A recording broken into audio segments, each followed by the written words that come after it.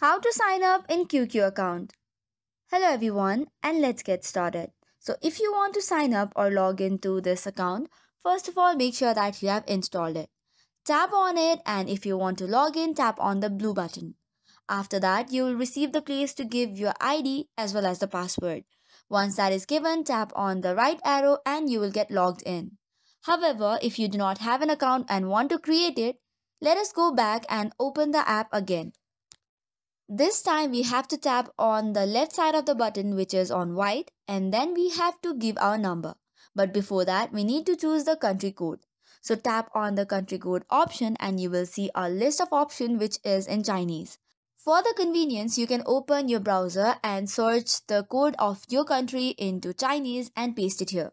Once this is done, you can tap on your number and click on the verification or the blue button. Then after you're supposed to solve a puzzle or CAPTCHA. Once that is done, you will receive a verification code or OTP on the number that you provided before. Just tap on it and make sure to log in with the OTP.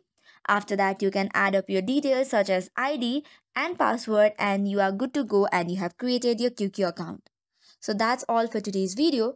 For more such contents, do not forget to hit the like and subscribe button. Thank you and keep watching.